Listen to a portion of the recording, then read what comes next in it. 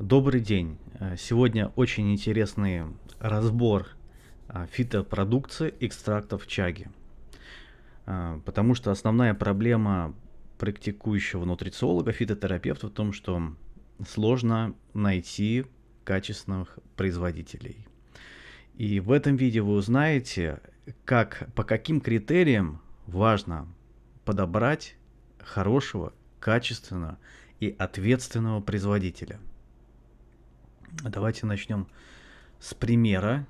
В принципе, в этом примере такие нюансы указаны, по которым можно о фитотерапии много рассказать и вообще о ну- нутрициологии. Вот экстракт э, чаги, укрепляет иммунитет, все хорошо. Но когда мы говорим об экстракте, имеется в виду, что мы взяли какой-то объем исходный, а, экстрагировали из него вот, эм, вещество и получили какой-то конечный да, результат. То есть, допустим, из 100 грамм исходных чаги получили 10 грамм, то есть 1 к 10. То есть всегда обращайте внимание, чтобы э, производитель указывал, э, когда он пишет об экстракте, 1 к 10, 1 к 5, либо в пересчете на действующие вещества. В данном случае бета-глюканы – это действующие вещества, полезные полисахариды, которые вызывают э, иммунную реакцию. Кстати говоря, вот в старых стра- а, справочниках по фитотерапии указывались полисахариды как балластные вещества. Это просто поразительно. То есть э, примерно 30 или 40 лет назад а, фитотерапии в нутрициологии не знали о том, что оказывается вот этот эффект полисахаридов усиливать иммунитет, усиливать противоопухолевую защиту, он был неизвестен, не изучен. Поэтому так писали. Балласт, ненужное. Ничего себе не нужное.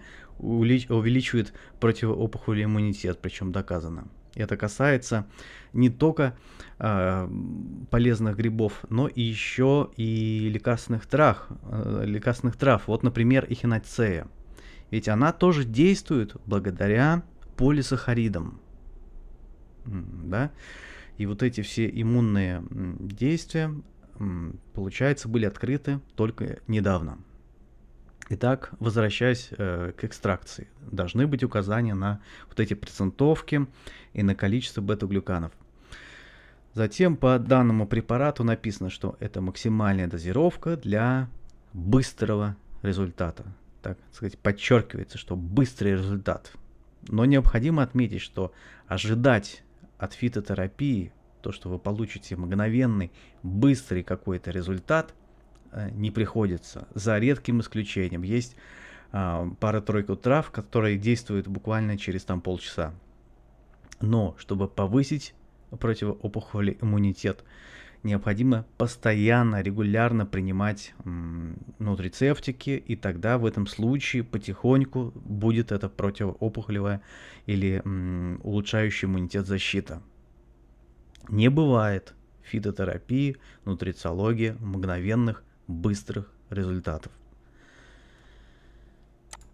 Следующее это количество показаний начинает расширяться, заживляет слизистую, регулирует метаболизм, ЖКТ, желчегонное, то, что у, а, у чаги я не отмечал. Может быть, это какое-то открытие этого производителя, но нигде я не читал такой информации научно подтвержденной. Тем более для желчегонного эффекта есть а, такие базисные травы, которые увеличивают желчевыделение, они уже известны, они, эффективны, то есть нет необходимости придумывать что-то новое, изобретать, да, и приписывать чаге свойства, которые у чаги нету.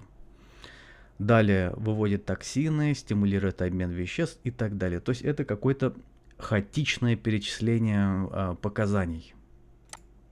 Следующее противовоспалительное, жаропонижающий, вот прям неожиданный такой переход, жаропонижающий. Откуда? Есть также и травы, которые э, содержат салицилаты. Да, у них доказанный жаропонижающий эффект. Зачем приплетать, да, сюда его? Непонятно. Более утоляющий, антимикробный. Улучшает работу мозга, помогает справиться с депрессией. Но вот эти моменты, они для фитотерапевта, для нутрициолога, они так пугают. Они могут привлечь, может быть, человека, который не разбирается в нутрициологии, физиотерапии, но как профессионалу сразу, сразу такое подозрение и негатив эта информация вызывает. Дальше по применению. Одна капсула три раза в день. А, если врач, заметьте фраза какая, если врач не назначит другую дозировку. Откуда врач и какой врач может знать, какое количество э, назначать? Три или четыре? И какой врач может знать? Если вы спросите в поликлинике обычного терапевта, какой препарат мне три раза в день или четыре э, раза в день принимать чагу, ну, я не понимаю. То есть э, странная информация. А далее э, тоже слайд непонятный. Э, разрешено принимать чагу форте после холецистотомии, сахарный диабет, тут и синдром раздраженного кишечника, боли в суставах, эндометриоз. То есть такой тоже хаотичный набор симптомов и синдромов. А далее состав. Оказывается, в этом препарате помимо чаги много другого полезного. То есть, э, может быть, поэтому такой широкий спектр пока неизвестно. Вот смотрите, экстракт куркумы, лиственницы, хромогенный комплекс, галовая кислота, куркумин. Непонятный такой.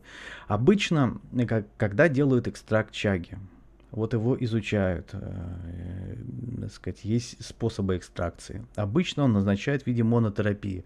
То есть э, для чаги нет необходимости смешивать его э, с чем-то другим. То есть он сам по себе эффективен, ценен вот такие объединения и такие смешения, они абсолютно как бы не показаны. Давайте посмотрим другой производитель, который говорит нам о том, что он измерил количество бета-глюканов, отнес ее в лабораторию независимую и померил количество там бета-глюканов. Но это уже достойный шаг, действительно, посмотреть, а сколько в этом препарате содержится бета-глюканов, исследовать и быть уверенным в продукте, это хороший, хороший ответственный подход. И количество указаний на полезные эффекты, иммунитет, здоровье кожи и пищеварение. То есть все, в принципе, в рамках, э, ну, так, в хороших рамках. Далее, по поводу содержания да, веществ, э, ча, экстракт чаги, мы видим указание процентовку, больше 8%. То есть, конечно, это было исследовано. А также здесь э, производитель указывает то, что он не добавляет специальных наполнителей э, в этот экстракт, потому что пишет, что многие м, производители добавляют вместо, вместо вот этого экстракта дополнительные ненужные наполнители. То есть тем самым все хотят сэкономить, и этот дорогой достаточно производство экстракт чтобы он продавался, скажем так, более экономно, чтобы извлечь большую выгоду.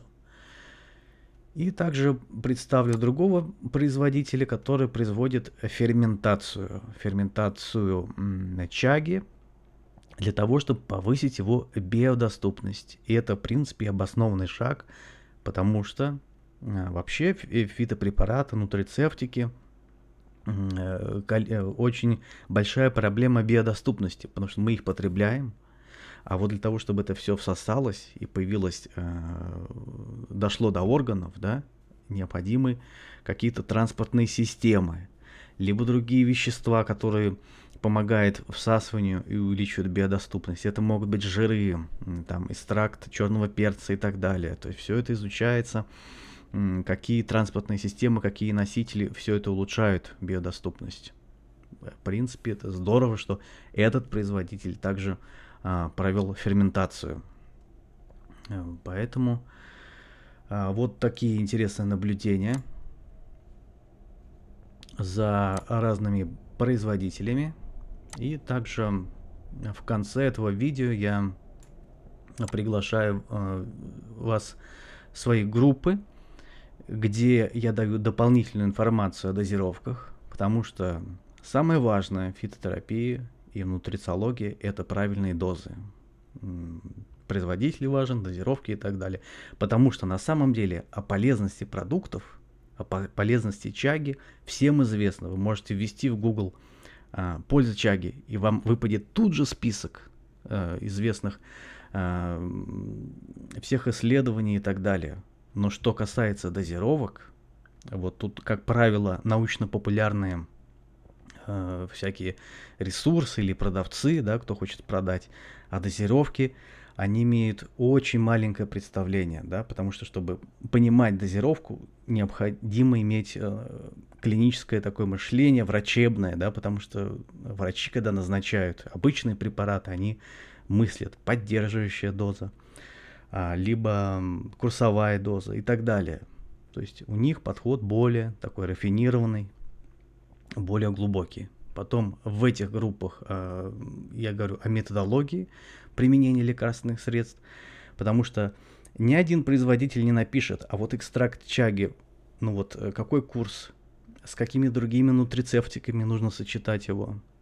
А, и главное, никакой производитель вам не напишет, а можно ли экстракт чаги, допустим, применять а, с а, лекарственными препаратами, потому что у многих фитопрепаратов, у многих нутрицептиков есть,